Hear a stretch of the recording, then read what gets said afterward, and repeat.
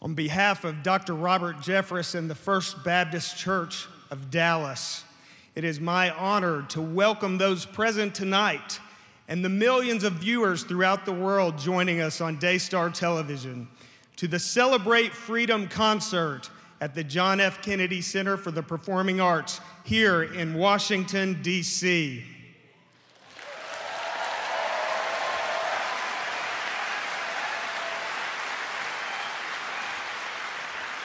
As Jesus Christ instructed us, greater love has no one than this, than to lay down one's life for a friend.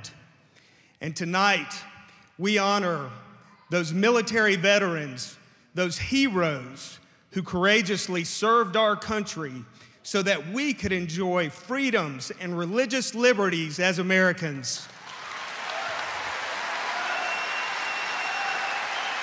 Moreover, we are here tonight to celebrate the freedom we have through Jesus Christ. When the Son sets you free, you are free indeed.